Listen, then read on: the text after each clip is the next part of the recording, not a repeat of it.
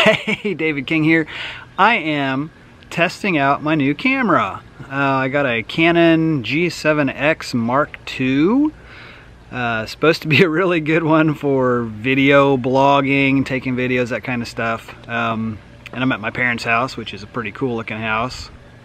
There's my car. Also walking around a little and testing out the sound. The microphone's supposed to be okay um, for a built-in little microphone. It's, it's a stereo microphone. This is a really cool camera too. Um, I'm gonna have fun with it. It's replacing, I had a, a PowerShot like S90 I think that I apparently lost. I think, I think I had it in a bag. A, a little, you know, one of those conference canvas bag type things or something and I think I accidentally gave it to Goodwill, but with a bunch of clothes. So, not so hot. Oh well.